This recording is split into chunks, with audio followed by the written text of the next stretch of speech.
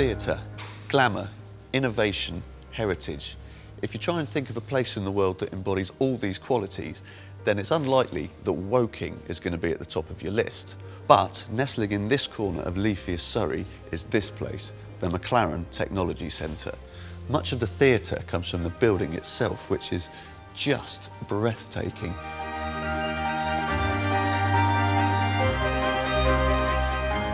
Glamour and the innovation come mainly from what McLaren is most famous for, and that is obviously the Formula One race team. This is where all the hard work happens. It's where all the research and development goes on, and it's where the engineers work around the clock to come up with upgrades for the next race. Now, unfortunately, we can't show you any of that because those areas of the building are strictly off limits to our cameras, just in case we inadvertently give away some of McLaren's secrets, which is a real shame because it's literally 50 yards over there. But although we're confined to this central atrium, you still get a real flavour of the rich racing heritage that lives and breathes in this place. And this here is an excellent example. This is the sister car of the one that team founder Bruce McLaren drove at the 1968 Belgian Grand Prix at Spa.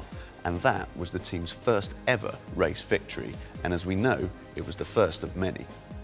Back then, this car was known as the M7A, but following developments made for subsequent races and seasons, the car you see before you now is actually called the M7C. But although it's evolved, it's actually still the same basic car. This theme of evolution brings us on to the real reason we're here. You see, in the past, McLaren has merely dabbled in road cars with the likes of the McLaren F1 and the SLR. But these days, the firm's evolved into a proper bona fide car manufacturer. The factory is in another very large building just over there. Road car production only started here in 2011 with the 12C, but now even that's evolved. Since then, McLaren's engineers have developed the P1 hypercar and they've learned a few new tricks along the way. Those tricks have now filtered down the range and the result is the new 650S.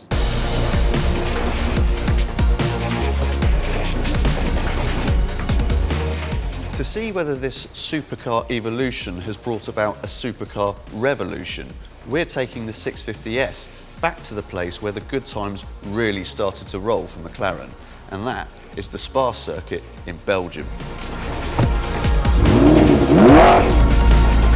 This is going to be a good day.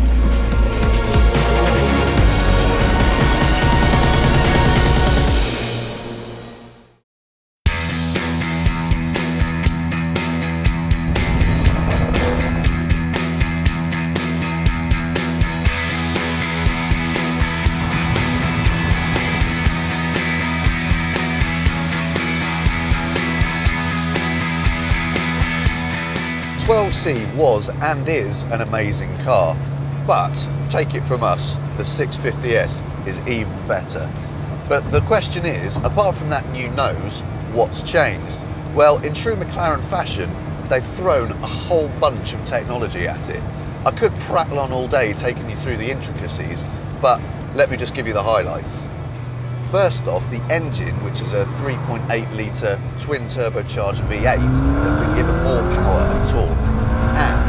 And the 7-speed twin clutch transmission is now even more sophisticated. Aerodynamics have improved all round, including an active rear wing that moves around intelligently to maximise downforce in any given situation.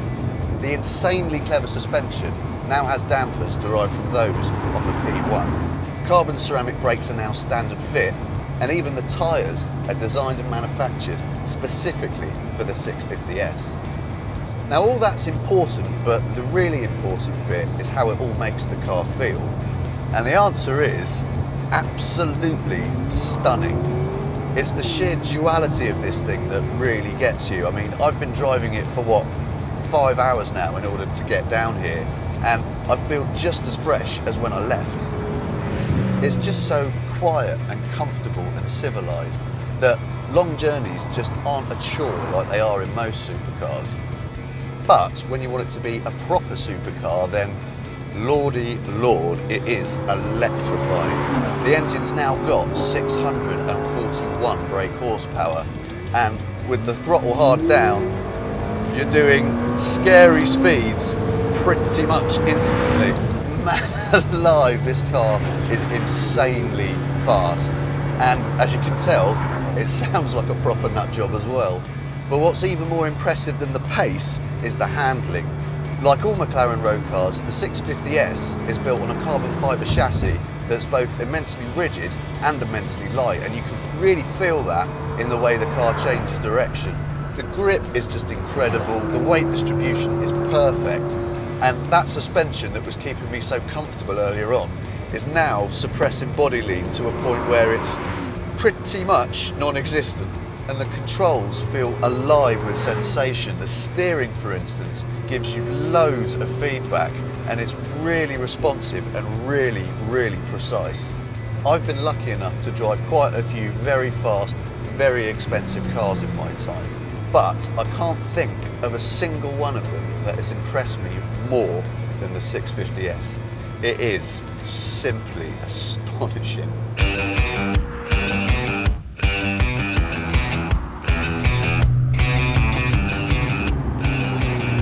So Spa is where Big Bruce took the team's first race win, but that's not the only reason we've come here. You see, McLaren's race exploits extend much further than just Formula One, and we've come to see the 24 Hours of Spa, an endurance race in which a number of 12C GT3 cars are competing. Now, I can honestly say that of all the racetracks I've seen on the TV, Spa has always been my favourite and it's been a bit of a lifelong ambition to drive just one lap of the place. But let's face it, that's not going to happen, especially with a race weekend going on. However, we can do the next best thing. Back in the day, Spa was arguably the most dangerous racetrack on any calendar, partly because the weather could change like that, but primarily because it was so stupidly fast fatalities were scarily commonplace. So in 1978, a large part of the track was shut down to make Spa the shorter circuit it is now. And these old sections of track are still accessible as public highways.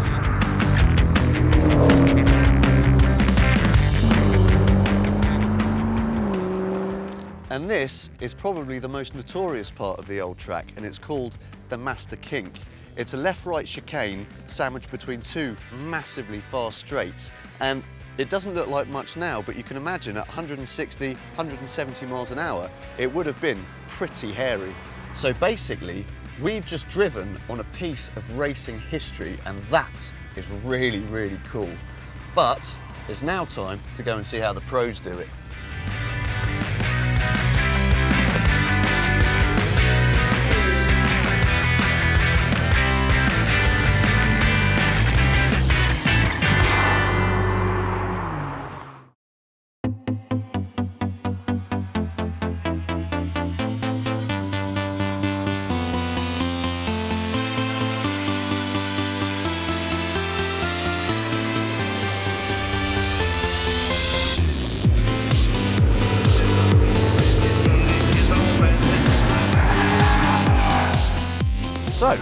Here we are at the famous Spa circuit and as you can see, we don't have to leave our 650S in some isolated car park miles away from anywhere.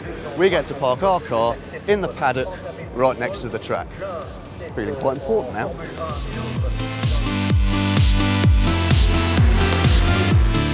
The 24 Hours of Spa is the headline event of the Blancpain Endurance Racing Series. 40 odd teams are competing in this grueling round the clock race and four of them are running McLarens.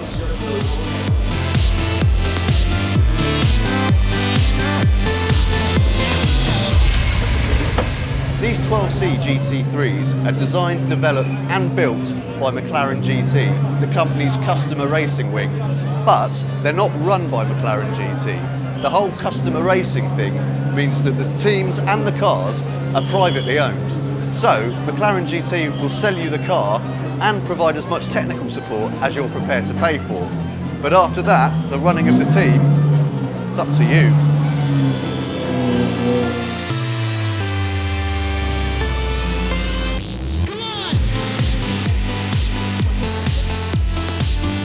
So exactly how much does an operation like all this cost? Well, no one's saying exactly, but I shudder to think. Even so, it's really, really cool that if you've got enough money and the appropriate level of race license, you can get involved in all this. And here's the car you get in all its orange glory.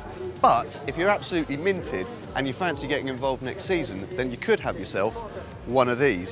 The new 650S GT3 car was unveiled a couple of months ago at the Goodwood Festival of Speed and it will be ready to race from January.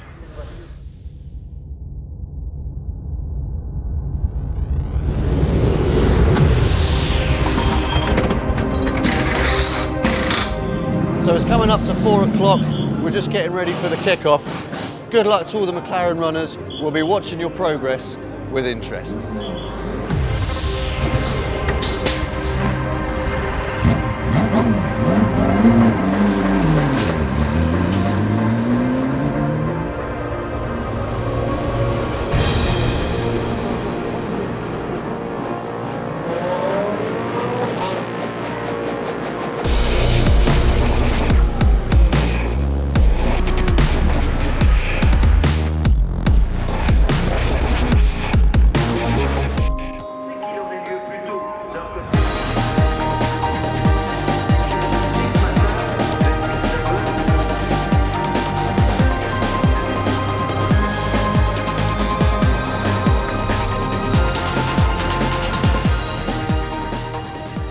So the support races are still going on, but our race is all over. And it was a pretty eventful one. Of a field of around 60 cars, around a third failed to make the finish.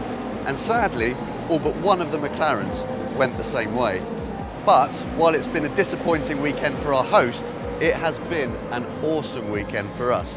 We've experienced some great racing, some colourful characters, and a truly magical race circuit. But the best bit, by far, has been the car we came down in, the 650S. What an incredible machine this car is. And that's why I'm not really sorry that this weekend's over, because now I get to drive home.